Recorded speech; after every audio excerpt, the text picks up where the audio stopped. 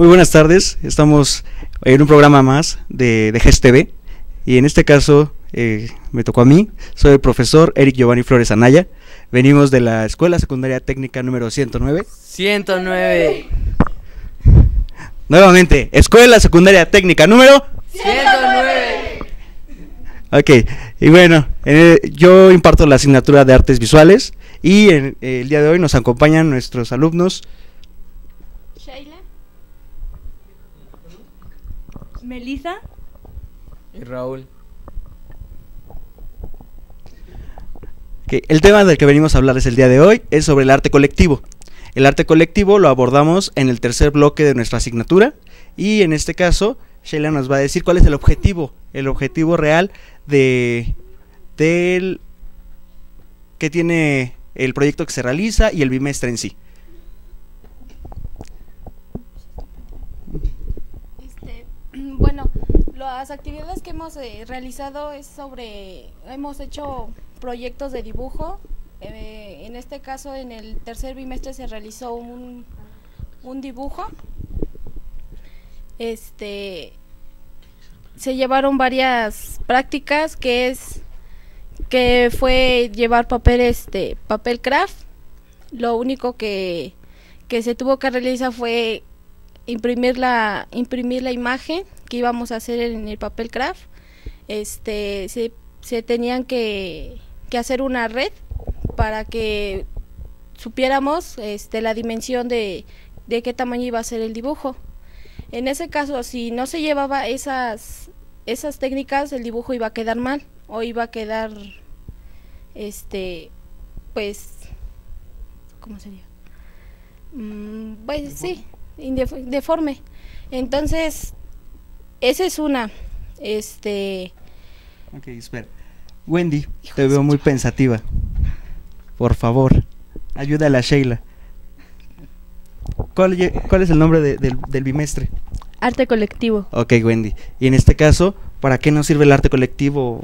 ¿Cuál es el propósito que tiene? Em, trabajar en equipo y pues sí, trabajar en equipo y aprender este aprender a hacer un dibujo eh, bastante grande y trabajar todos juntos. Ok, ese fue el caso de nuestro proyecto. Ok, Raúl, eh, al principio del, del bimestre vimos algunas expresiones artísticas ¿no? de, de- que han pasado a través de la historia en donde se emplea el arte colectivo. ¿no? Este, algunas corrientes como fueron el muralismo, les presenté también unos videos acerca de qué. Sobre que siempre tiene que ser de dos para poder hacer el arte y todo eso. Dos o más, Dos o exactamente más, para que se pueda considerar arte colectivo. Ok, específicamente del proyecto que nos mencionaba Sheila, ¿no? Este, ¿qué nos puede decir Wendy? ¿Cuál fue el primer paso para que pudiéramos dar este paso de la historia y de la parte teórica a la parte práctica? ¿Qué era lo que se tenía que hacer? Bueno, lo primero que teníamos que hacer es ponernos todos de acuerdo, todos en equipo y eh, eh, conseguir todos una imagen en la cual esa imagen todos coincidíamos que nos gustaba y en un papel craft de dos metros teníamos que hacer el dibujo. Ok, exactamente. La primera parte es la selección de una imagen, ¿no? Una selección de imagen en donde ustedes me, me tenían que proporcionar varias alternativas, ¿no? Que- y ya eh, dependiendo de algunas algunos puntos que declaramos en clase, que tenía que ser color, el contraste en la imagen, el claroscuro, las sombras, ¿no? Este se iba a elegir una imagen, una o varias, y entonces ustedes tenían que determinar una que posteriormente tenían que que realizar dibujarla, pero primero tenían que imprimirla. ¿Y para qué se imprimía?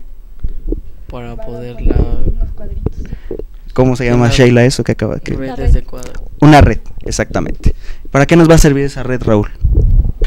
Para fijarte cómo va a ir la figura en el, en el mural grande.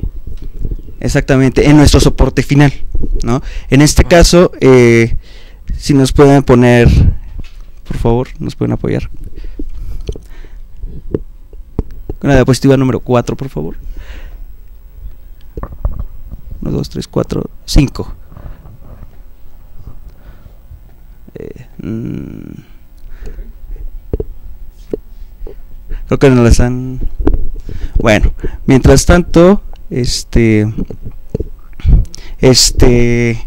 Esta, esta red ¿no? No- nos estaría mostrando lo que son una serie de módulos, ¿no? Estos módulos que nos sirven para qué?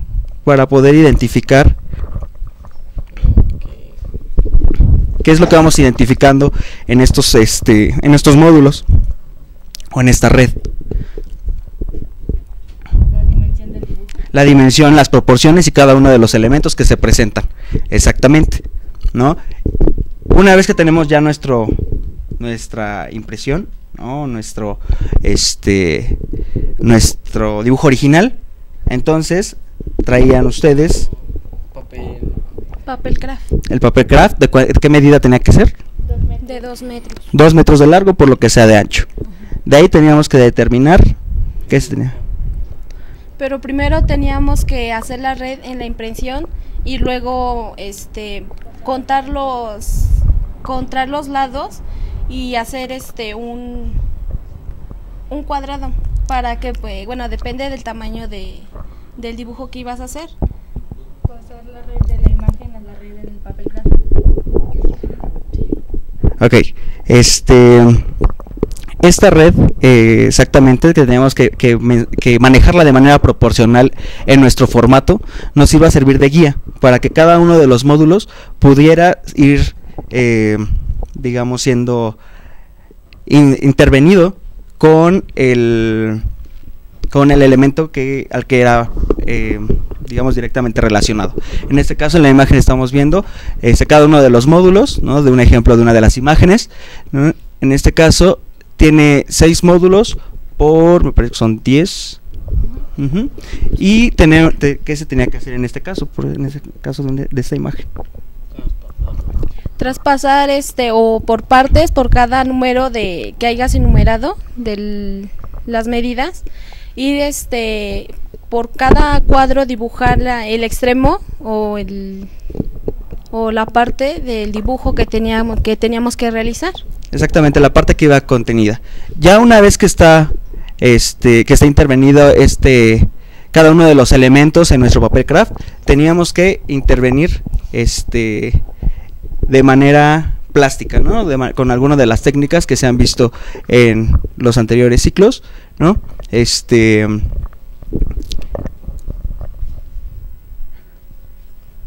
se lleva a cabo lo que es la aplicación de la técnica. Ok, bueno. Este, ¿qué fue lo que en este caso qué, qué técnicas estuvieron empleando ustedes? Sheila, ¿qué, qué técnica utilizaste para poder reproducir tu imagen? Mm, bueno, para ser más directa y más este específica, yo en ese caso yo este mi dibujo tuve bueno, lo escogí realista y tener una técnica de sombras que pues la imagen sea mm, realista Ok, ¿y con qué material lo hiciste? Con colores. Lápices de color. Ujú. Ok, Wendy, ¿ustedes con qué trabajaron? Em, nosotros trabajamos con una imagen, eh, se puede decir que era una caricatura más o menos. Era una imagen bastante grande, no la pudimos acabar, eh, la terminamos cambiando y los materiales que utilizamos fueron colores pastel y colores de madera. Ok. Eduardo, ¿su equipo qué implementó de material? Nosotros igual fueron puro color. Eh, no pudimos sacar la hoja, pero la estuvimos checando. Ya después de ahí la pasamos al papel y ya este usamos también colores colores pastel. Ok, quizás pastel. En este caso, en las imágenes, este, podemos ver algunas de, de las fotografías del proceso de todos los equipos, que en este caso fueron aproximadamente mm, ocho equipos, ¿no? los que estuvieron trabajando y elaborando estas imágenes. Eh, Hubieron técnicas muy diversas, hubieron quienes, quienes emplearon tintas, emplearon eh, pintura acrílica, hubo quien empleó obviamente lápices de color, quizás pastel, que es lo más rápido, ¿no? Para poder resolver una imagen tan grande cada una de, de- de, digamos, la complejidad fue determinada por cada equipo, ¿no? Ustedes, este, en este caso, eligieron también el tema, que podía ser películas, podía ser videojuegos, en algunos casos también fue referente a música, ¿no? Y entonces, este, vemos, por decir, ese trabajo de Sheila, que es el del lado derecho, ¿no? Es, es, era un trabajo muy elaborado, estaba lleno de detalle y también por eso era comprensible que solo en su equipo eran dos personas y que no lo es. terminaran de manera tan rápida como todos los demás, ¿no? Entonces, este, seguimos con las imágenes y bueno, ahí está el equipo de Raúl, ¿no? En donde estamos viendo que ellos eran bastantes en su equipo. Ellos fueron determinando quiénes iban a integrar su equipo por esta parte de eh, que tenía que ver con la responsabilidad, con la parte de, de concluir la- la- el proyecto en, en su totalidad. ¿no? Este, ahorita vamos a hablar un poco de, de los problemas que encontramos en, en algunos momentos. Y bueno, este dejamos hasta ahí las imágenes, por favor. Sheila, por favor, si nos puedes platicar un poco de los inconvenientes que tuviste con tu equipo. Bueno, el primer problema fue porque yo iba a hacer equipo con, con las que yo me juntaba realmente.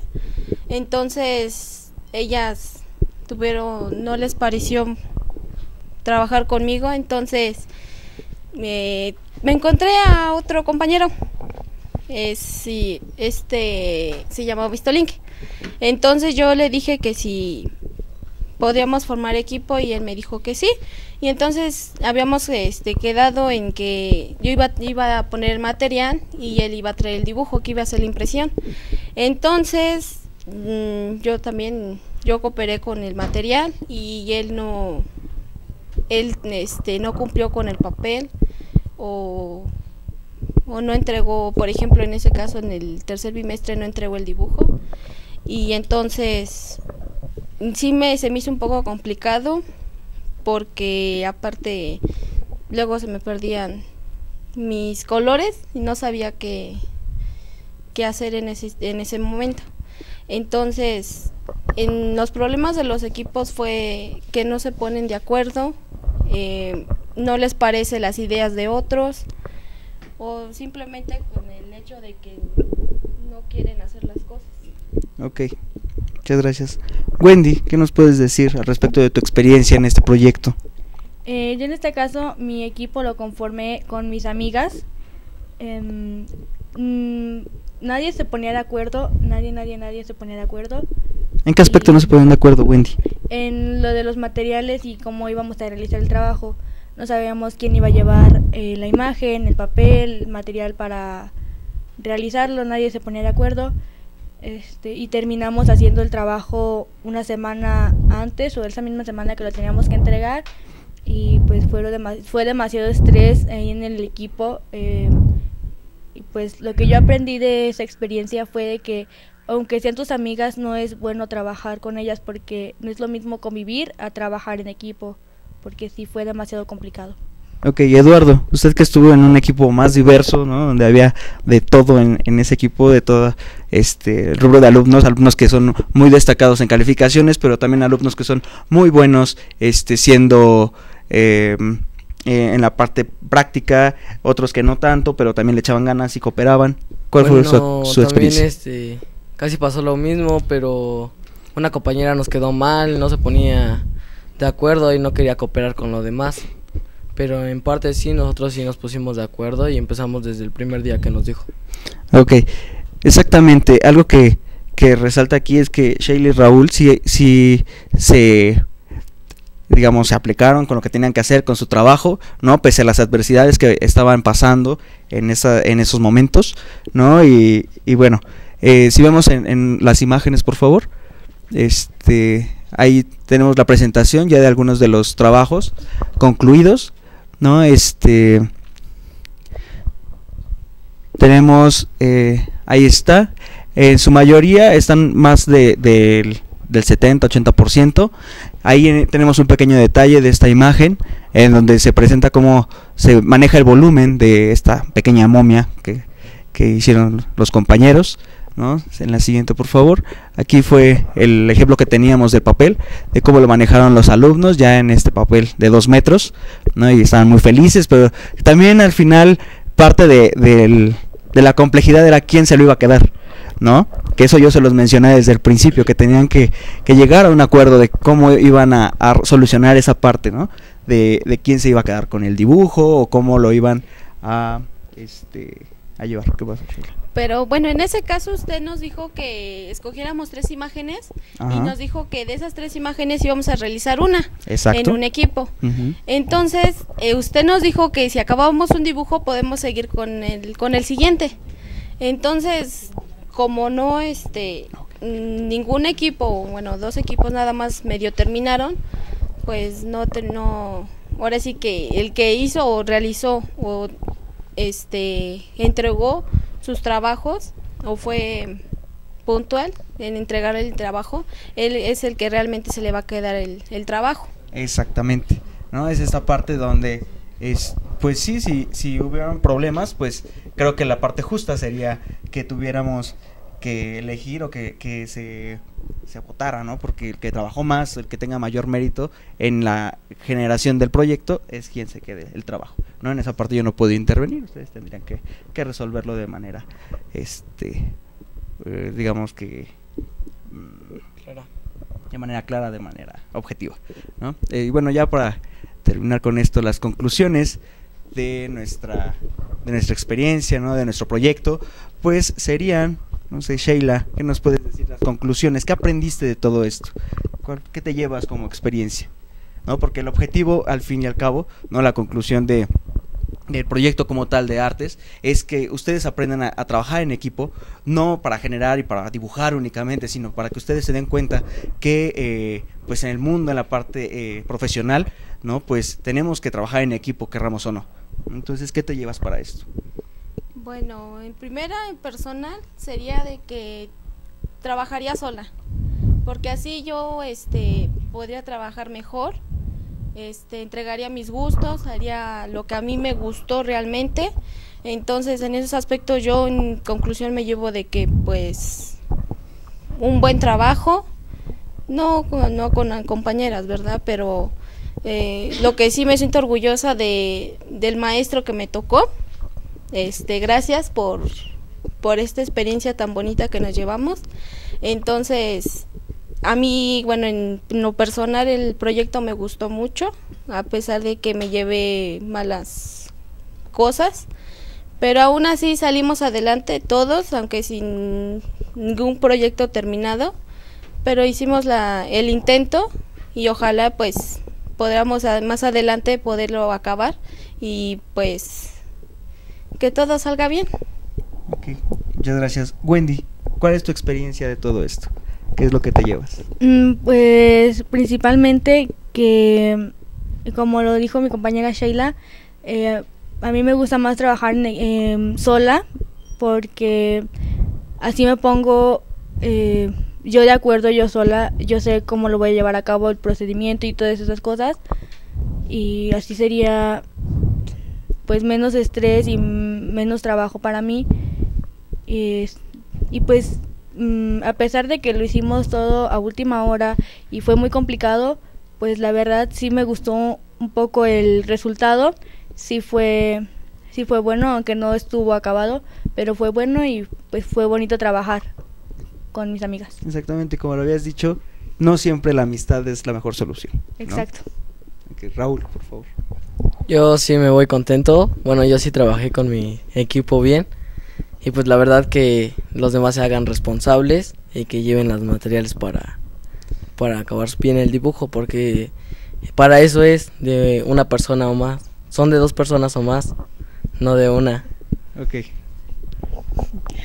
Ok, pues aquí ya me están regañando porque me atravieso y no me atravieso en las cámaras, aparezco y no aparezco en las cámaras, ¿verdad? Muy bien, chicos. Pues los felicito por su intervención aquí, por su participación, más que nada en DGS TV. Sabemos que es bien difícil estar frente a una cámara, pero sí o no se siente bien bonito cuando ya está a punto de concluir el programa y ya sus papás lo están viendo con cara de emoción y ya, ¿o no?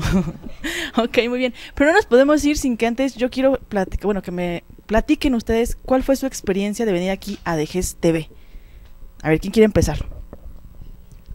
También usted, es la pregunta también para usted, profesor. ¿eh? ¿Cuál fue la experiencia de ser el conductor del programa? Pues es, para mí es difícil. Es ¿no? difícil. Este, sí, a pesar de que soy profesor y todo, eh, sí es complicado, ¿no? Tener una cámara enfrente, ¿no? Y este, pues tratar de llevar los tiempos, llevar el ritmo de, de, de las situaciones, hay adversidades también, como en todo. Pero bueno, muy, muy feliz de esa experiencia, ¿no? Este, doy gracias a, a mi directora que me dio esta oportunidad, ¿no? Para poder estar aquí y poder traer a mis alumnos. Y ya para la otra, pues que lo manden a usted y ya sabe de qué se trata esto, ¿no? Ya viene bien preparado. Yo creo que sí, ya. ya va a venir Ok. por ti. Muy bien. Sheila, tu experiencia de venir aquí a DGSTV. Bueno, mi primera experiencia fue Tu micro así, porque ves que si no no nos escuchamos. Ah, sí, sí. perdón. Este, mi experiencia que fue fue que pues tuve problemas en mi casa para venir para acá. Al principio pues el tráfico y bueno, mi experiencia fue de que pues es mi primera vez que voy a hacer esto o que lo estoy haciendo. Gracias a Dios que me lo me, me permitió. Este, a ver cuándo me vuelven a invitar. ¿Ya quieres ser conductora? Porque te podemos contratar de conductora. ya. Este, bueno, si ustedes quieren. Ok, muy bien. Este, pues los nervios te matan mucho, pero es bonito. Bueno, ya se me quitaron los nervios, ya estoy bien, pero es muy bonito. Y pues más que nada gracias por mi mamá que pues me ayudó y este y pues está aquí conmigo, me está acompañando al profe, a la directora que me hizo la invitación, muchas gracias. Y pues ya. Ok, muy bien. Melissa, platícanos tu experiencia porque atrás de cámaras y antes de iniciar el programa, pues tu mamá ya nos estaba contando que tú tuviste una experiencia pues ya hace tiempo, no sé si hace tiempo, recientemente y participaste en un programa de tele. A ver, cuéntanos eso. Eh, sí, este, sí participé, este, estuve eh, grabando también en mi casa. Igual estaba súper nerviosa como ahorita, de verdad. eh, sí, sí es bonito, pero sí, muchos nervios, muchos. Y pues sí, nada más le quiero agradecer a mi mamá y a mi papá que, y a mis hermanitos también, que pues me apoyan demasiado y pues que me ayudan a tranquilizarme también porque de verdad me pongo bastante nerviosa. Y pues también a, mi, a la directora también, Beatriz Luna, que también me, me ayudó a hacer la invitación, y al maestro también, de, al maestro, porque también me hizo la invitación aquí. Y pues ya. Ok. Y por último, el caballero que las acompaña, Raúl. Eh, yo también me siento contento, aunque un poco de nervios, pero también gracias a mi familia que está aquí y pues más que nada el profe que, que nos eligió para venir a acompañarlo y nada más. Que nada más, ¿seguro? ok, muy bien. Pues efectivamente estar a unas cámaras y detrás de un micrófono también es muy nervioso, pero pues no lo no se crean, o sea, hasta nosotros que estamos trabajando aquí, que hacemos programas diarios, nos ponemos de nervios, pero aquí el chiste es de que aprendamos pues hasta a reírnos de nuestros errores, ¿no? Luego muchos cantinfleamos, se nos olvida lo que vamos a decir, nos ponemos nerviosos y demás. Pero pues aquí el chiste es como se los dije en un principio, es venirse a divertir. Y que pues salir también salir de sus aulas y que la, la educación no simplemente tiene que ser tras un cuaderno o un libro, también lo pueden venir a expresar frente a unas cámaras para que los demás compañeros pues aprendan de ustedes y conozcan el trabajo que realizan en sus aulas, porque muchas, muchas veces hacen trabajos impresionantes como los que acabamos de ver y nadie los conoce, ¿no? Entonces, ese es su espacio para que ustedes vengan el día que quieran a presumirnos cualquier trabajo que realicen. ¿Ok? Muy bien, chicos. Pues ahora sí es momento de irnos y rápidamente sus saludos, así, rapidísimo, en breve. Bueno, yo un saludo a todos los de tercero H que, de seguro se han de estar burlando, pero está Ay, bien. ¿Por qué? ok, Melissa. Em, un saludo a todos mis compañeros y amigas eh, y amigos. Eh, saludos también a mis hermanitos, a mi familia y a mi mamá que me acompaña. y pues saludos a mis familiares. Ok, Sheila. Bueno, un saludo igual para mi grupo, este, y un saludo muy cordial y de todo corazón a un profesor que pues que eh, tuvo un accidente en la escuela, pero bueno, ojalá y esté bien Y que se recupere pronto. y se recupere porque tuvo una caída muy fuerte y este pues no, no hemos podido verlo. Y bueno, este un saludo a mi mamá por apoyarme, este a mis tíos que están conmigo también. Y este pues a echarle ganas y gracias al profe que me hizo la invitación. No se pongan nerviosos, estamos bien. este Y el profesor, mira quién lo dice. y este un saludo también para la directora Beatriz Luna. Este, muchas gracias por la invitación. Este, estoy muy feliz, gracias por hacerme un, un sueño hecho realidad. Muchísimas gracias y pues que Dios los bendiga. Me voy con un bonito recuerdo. Ok. Y maestro, por último. Por último, pues bueno, un saludo a todos mis compañeros docentes de la técnica 109, ¿no? Este, turno matutino y vespertino por igual. Y en este caso también, obviamente, la directora Beatriz Luna García, que nos dio esta oportunidad de poder venir aquí a estas instalaciones. Y además a, a nuestro director general, ¿no? Raúl Salgado. ¿Eh? Muchas gracias a todos. Muy bien, pues efectivamente, muchas gracias a ustedes, a sus papás que están detrás de cámaras y a su directora y sobre todo al licenciado Manuel Salgado Cuevas, el director general de las escuelas secundarias técnicas de la Ciudad de México, porque recuerden que ya no es Distrito Federal, es Ciudad de México. Nosotros pues, estuvimos aquí en el programa de nuestros alumnos, yo soy Adri, recuerden que hoy estuvimos con la Escuela Secundaria Técnica número 109. Hasta el último se le salió el ánimo a estos muchachos. Muy bien, nos vemos en la próxima.